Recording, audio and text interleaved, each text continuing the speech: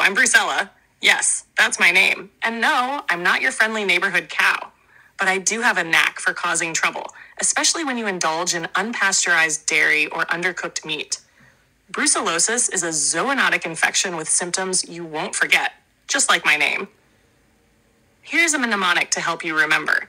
B is for big liver and spleen, hepatosplenomegaly due to systemic infection. R is for recurrent fever. Brucellosis causes undulant fever, which comes in waves along with night sweats.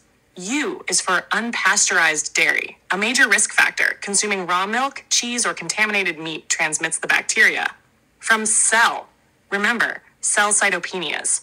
Pancytopenia or isolated cytopenias may result from bone marrow involvement. E is for endocarditis, a rare but serious complication, often affecting the aortic valve. L, L is for lymphadenopathy. Enlarged lymph nodes are part of the systemic inflammatory response. A is for arthralgia.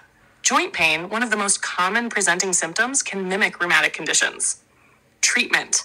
The goal is prolonged antibiotic therapy to prevent relapse. First line, doxycycline, six weeks, rifampin, six weeks.